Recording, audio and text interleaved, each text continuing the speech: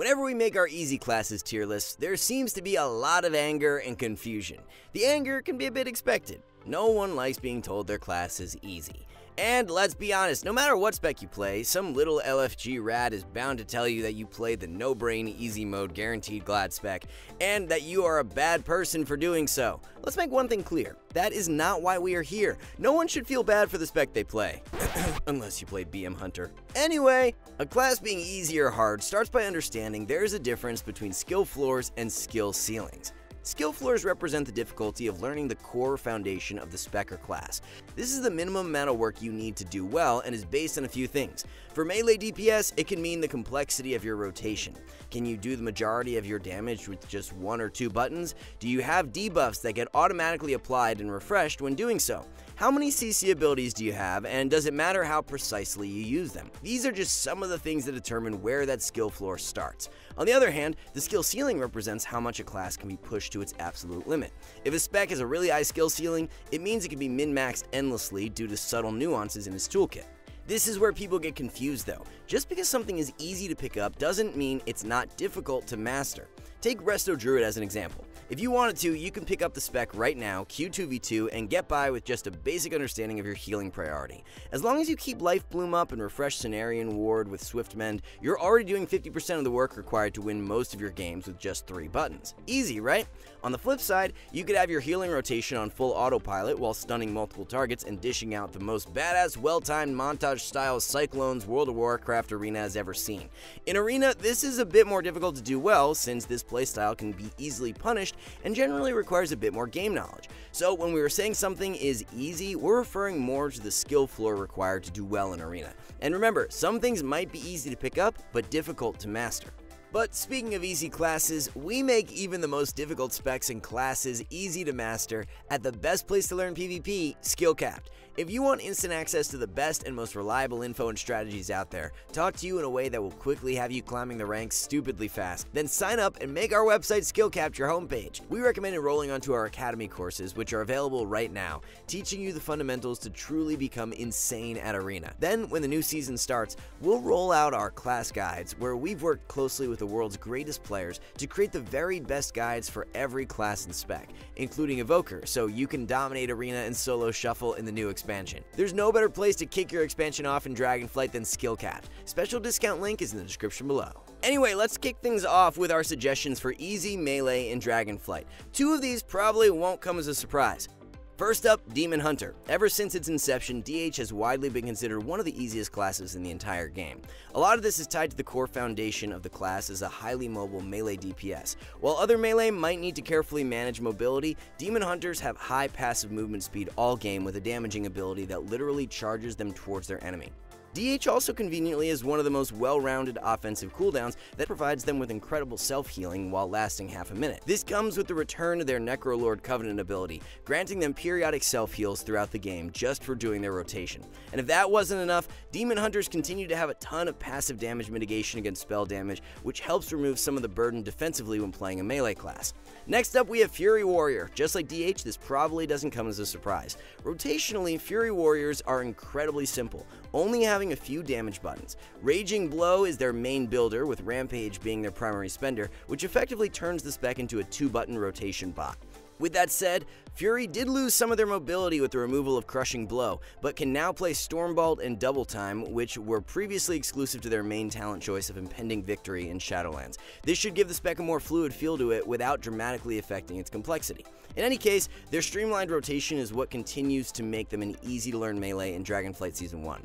Finally, we have Death Knight, and before you type in the comments, yes, Frost is probably easier than Unholy. With that said, both DK specs have a ton of passive defense that make them a bit more forgiving in Dragonflight. First off, all DKs now have baseline damage reduction while low on HP thanks to Will of the Necropolis. When you combine this with the anti-caster tech like Rune of Spellwarding, Death Knights as a whole are really forgiving on the defensive end. Of course, there is a bit of complexity to their resource system, but the convenient part about dealing damage is that it can literally be practiced while leveling or doing dungeons, which in turn makes it easier to focus on the more complicated things like utility. On the other end of the spectrum, we have our hardest melee DPS, the first of which is generally not recommended for beginners. Feral Druid continues to have a lot of complexity in Dragonflight despite being relatively strong. For a while, Feral has been a spec with a lot of maintenance built into its rotation. Not only does it have a wide array of dots, combo point generators, and finishers, but it is one of the remaining specs that has snapshotting mechanics with Tiger's Fury and Blood Talons. Oh yeah, and just read the tooltip of Blood Talons. In order to activate it, the Feral must use three different combo point generators in a 4 second window, which is a massive departure from the 2 button Fury rotation we discussed earlier. This doesn't even take into consideration the need to utilize Predatory Swiftness procs, which demands a lot of interaction with both party members in Arena, and that's on top of the need to properly utilize Cyclone, which itself is a rather complicated ability. There's honestly a lot we could talk about when it comes to Feral, but the spec as a whole has a lot of depth, making it daunting for beginners. Finally, we have Rogue. This one might be a bit controversial, so let us explain. Yes, Outlaw might have been a relatively easy spec to play towards the end of Shadowlands, and yes, Assassination always tends to feel a bit linear, but Rogue as a whole is gated behind one giant obstacle reliance on their partners. Even if you consider Assassination to be the easiest rogue spec, it still has a bit of maintenance in its rotation in order to make the most out of Venomous Wounds. Not understanding how this mechanic works can dramatically reduce damage output. Overall, Rogue is the quintessential setup-based class, especially for subtlety. Even though there have been moments where a single sub-rogue could 100 0 someone on your team, damage values in Dragonflight aren't really supporting that option. This means that more than ever, rogues will have to strictly play around their teammates, knowing exactly how to support them on setups. Finally, we have our moderately difficult melee DPS, which is a category that is super stacked, so let's finish this section off with bullet mode summaries. Both Ret and Enhance fall here, while their rotation is relatively streamlined, they are hybrids after all, requiring them to make full use out of their utility to do well in team environments. In Dragonflight, Shamans as a whole will develop slightly more complexity now that Thunderstorm and Lightning Lasso are now baseline. Moving on, even though Windwalker is technically a hybrid DPS, it doesn't really perform a hybrid role. While its damage output can be incredibly high, its main difficulty curve is learning how to correctly adopt its hit and run playstyle. Inexperienced monks are easy to identify since they are the types who try and stay in the fight all game, not making full use out of the spec's ability to kite and reset the fight. Next up, Survival Hunter. While the spec is converting more to a true melee role, its rotation did get more difficult. The saving grace for all Hunter specs is how free it is to CC healers now that Intimidation is baseline. With fast arming freezing traps, getting control going is relatively easy task these days. Finally, we have Arms Warriors. Although they share a lot of the utility as Fury, their rotation is tangibly more complicated, especially in Dragonflight, where there could be the possibility of running a spec built around bleed damage, utilizing the Skull Splitter talent that causes all bleeds to deal their total damage instantly, something which could easily be min-maxed. With melee DPS out of the way, let's see how the ranged classes compare. Our first easy representative is Hunter. In the past, we tended to split up Marks and BM, but now enough of their utility is shared that the differences between both specs mostly come down to rotation. One of the things people tend to point to when it comes to Hunter is their role as a setup-based class, but with Intimidation and Scatter both being baseline, the ability to set up CC has never been easier for the class as a whole, especially with Freezing Trap arming instantly.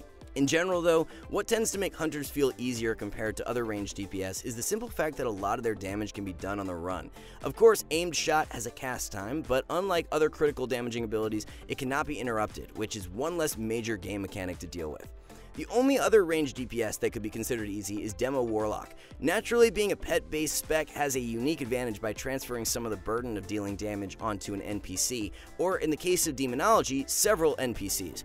Naturally, there are going to be people in the comments right now saying how demo damage can be heavily min-maxed, which is a fair criticism, but a lot of their damage is intrinsically tied to one ability, dogs. Not only is Call Dreadstalkers instant, but they also feed Demo Warlock's instant cast damage with Demon Bolt. What this means is with a single button press, Demo is able to generate sustained NPC damage instantly while having burst later on. And like many of the specs we will mention, Demo has the luxury of having a major damaging ability on dual spell schools, allowing them to soak interrupts with fear, which is on the Shadow School, in order to cast Hand of Gul'dan, which is both Shadow and Fire. Taken together, despite having lots of room for min-maxing, Demo is a convenient way of learning how to play ranged DPS. Just like before, now it's time to introduce difficult ranged DPS, starting with the newest addition to ranged DPS, Devastation Evoker. Before going into their mechanics, there is obviously a massive difficulty curve for learning an entirely new class, especially when their resource system is a mix of mana and something that loosely resembles DK runes. That and the fact that Evoker is loaded with skill shot abilities. To give just one example, instead of pressing its root like a mage's Frost Nova, lava, Evoker has to actually aim their landslide. The other thing that makes Evoker feel a bit janky is its limited range, with many of its damage abilities having a baseline 25 yards. In arena games where you need to quickly line of sight to avoid enemy damage, the requirement to always be pushed in can be really difficult for caster DPS, which gives Evoker a distinct difficulty in PvP. Finally, rounding out our hard range DPS, we have Shadow Priest. Now, you might be wondering, out of all the hybrid DPS, that Shadow could be considered the most difficult. While it is true that mechanics like Damnation and Misery have made it a bit easier for Shadow Priest to get out damage, the spec as a whole still requires a lot of hard casting. But Dragonflight has also reintroduced Mind Spike, which is on the Shadowfrost school, and gives SP another way to manage interrupts. So why do we think it is still hard? Well, as a hybrid, damage is only half of its toolkit, and the remaining utility options are a bit more complex for Shadow compared to other casters. One key example of this is Mass Dispel. This spell alone has a massive learning curve, since there is often a very small window to use it effectively against better teams. Leap of Faith is another relatively difficult spell to use properly in Arena, since using it well requires tracking multiple different pieces of information. In any case, out of all the hybrid DPS in WoW, Shadow Priest often feels like it is required to play the support role more than anyone else, which is why it can be difficult to pick up for newer players in Arena. And to wrap up range DPS, let's quickly cover everything in the middle of both extremes and move on to moderate difficulty. First, we have both Affliction and Destro Warlock. While there have been some quality of life improvements to both these specs, like Soul Swap and Soul Burn making their return to the game, the Warlock class as a whole still requires a lot of hard casting. One possible way to navigate this problem is the new Precognition talent, which rewards players for juking interrupts. This new PvP talent will scale off the skill of the player, so it might be less beneficial to inexperienced casters. Next, we have Balanced Druid and Elemental Shaman. We've grouped these two specs together because they fill similar hybrid roles. Being a hybrid caster means having to deal with multiple forms of disruption and micro CCs while getting trained, while also being able to support with appropriate utility. Ele Shamans in Dragonflight will have an expanded toolkit and will now have to manage multiple shields on themselves and their partners. With that said, both Ele and Boomkin are more damage focused than anything else, and luckily a lot of their damage kit revolves around instant casts, avoiding the burden of being a true wizard. Finally, we have the entire Mage class rounding out the moderate difficulty tier. In Shadowlands, there was a clear division between Fire and the other two specs in terms of playstyle. This was due mostly to the strength of Dragon's Breath, which now has a 45 second cooldown, more than double what it used to be, and is now available to every mage spec. The consequence of this could be shifting Mage back in the direction of a true wizard, where instead of needing precise 3-2-1 CC setups, the class as a whole tries to simply blast damage all game, which in many ways reduces its complexity. Of course, there still will be a lot of skill expression for Mage as a whole, but if the class becomes a true wizard, then their playstyle might be a bit more approachable for newer players. With all of our DPS covered, let's wrap things up with healers, starting with the easiest. Kicking things off, we have Holy Paladin. In the past, one of the things that made a healer difficult was how much it needed to hard cast, but these days nearly every healer has an abundance of instant cast options that circumvent the need to cast, and Holy Paladin is a prime example. Rotationally, Holy Paladin hasn't changed much from Shadowlands, relying heavily on staggering instant cast builders like Holy Shock with their instant cast spender Word of Glory. Of course, there is often hard casting sprinkled in, but the majority of its rotation is still instant. Not only that, but Holy Paladins received some new tech in Dragonflight, picking up Aura of Reckoning. This, along with Awakening, means that Holy now has two ways to proc their biggest healing cooldown, which means minimizing errors with one of their key abilities. And if that wasn't enough, Lay on Hands is now usable in Arena, giving Holy Paladins one more defensive CD as an insurance policy for falling behind. Next up, both Disc and Holy fit the second and third slot for easiest healer. We anticipate that Disc will be more meta relevant, so let's discuss it first. Without a doubt, there is one spell that has really helped redefine Disc in recent years Radiance. This spell alone offers an instant recovery tool once things go south, playing an almost identical role as Holy Priest Serenity. As a beginner, you don't have to carefully min-max atonement healing nearly as much with a spell designed to quickly top someone's HP. In Dragonflight, both Healing Priest specs have now picked up Void Shift, which for Discipline gives them one more massively strong cooldown to rotate. Of course, there is a skill curve for offensive play for both Priest specs, but as far as the healing side is concerned, Dragonflight is a good opportunity to pick up Priest as a healer.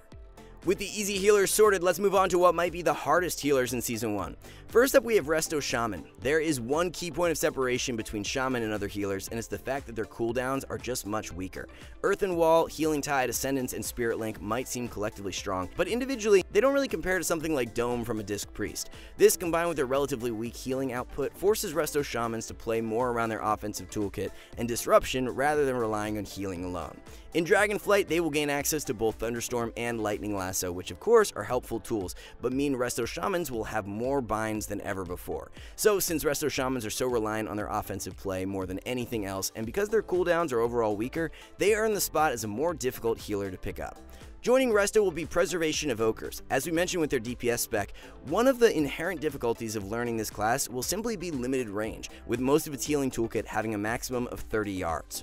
This, along with the fact that it has skill shot abilities, means that the mechanics of healing as an evoker are unlike any other spec in WoW. Another particular challenge when playing evoker is how they use their cooldowns. Most healer defensives, like Spirit Link for example, are used reactively to counter lethal damage immediately. Some evoker cooldowns, like Rewind or Stasis, can't really be used in a snappy reactive way and require preemptive use in order to be completely effective. In general, the evoker is loaded with cooldowns that don't have one-to-one -one comparisons with other classes, making the swap to this class a bit challenging. Finally, it's time to look at our moderately difficult healers. If you've been keeping score, you know what's coming up. First, Resto Druid. On its surface, Druid has a relatively complex rotation. Not only do you have to keep HOTS rolling, but you also need to extend them in precise windows using Swiftmend. This might seem a bit daunting at first, but remember, all of this is instant cast. The real learning curve in Dragonflight will be adapting a more aggressive playstyle. If the meta is slower, then all healers, including Druids, have more opportunities to play aggressive. This means making the most out of your stuns and cyclones. For experienced players who are able to recognize shifting game states, this should be easy, but for newer players, this could be a massive challenge. Rounding things out, we have Mistweaver Monk. Before you grab your pitchforks, let us explain. First of all, did Mistweaver have it hard for most of Shadowlands? Yes. Why? Well, during the early seasons, they were notoriously easy to kill in stuns, which is why Eminence was introduced in patch 9.1, allowing them to port while stunned, and thanks to a recycled legendary in Dragonflight, all monks will be able to port two times in a row. On top of this, monks gained some new defensive tech for stun setups, and now have the ability to play Restoral instead of Renewal, allowing them to use one of their biggest defensive cooldowns while stunned. This means that Mistweavers have two distinct tools for dealing with one of the most frustrating mechanics as a healer. Of course, one problem that remains with monks is that they generally need to hardcast quite a bit, but if the meta winds up being slower, then this shouldn't be a big issue since lockouts would be less punishing. Before we recap, remember that when ranking the difficulty of each spec, we took a bias to its skill floor rather than skill ceiling. Something can be both easy to learn and difficult to master, which is definitely true of many of the specs we discussed. And to recap, here we have a complete picture of the difficulty levels of each role. Players new to Arena and Dragonflight would probably find it easiest to play something like DH, Fury Warrior, BM Hunter, or Demo Warlock for DPS, since these specs have relatively simple rotations and are almost entirely focused on doing raw damage rather than needing precise control. There are a lot of options for easy healers, but if you are new to the healing role, you might want to avoid Evokers or Resto Shamans since their toolkits don't compare well to any other healer. And if you want a one-stop shop to dominate next expansion, we we got you covered at skill-capped.com. Our class courses will teach you everything you need to know to get instantly started in Dragonflight. If you have a rating goal you want to achieve this expansion, we got you covered with the data to prove it, which is why we were able to offer you a rating gain guarantee, giving you a full refund if you don't gain at least 400 rating while actively using our site. So what are you waiting for? Join over half a million lifetime users in the best learning experience WoW has to offer. Visit skill-capped.com to get started the moment Dragonflight launches. In any case, we hope you found this video useful. Let us know in the comments below what Dragonflight content you'd like to see next. And if you're new to the channel, consider subscribing and turn all notifications on. We're going to be pumping out PvP content all expansion, and you definitely don't want to fall behind. As always, though, we'd like to thank you all for watching. See you soon.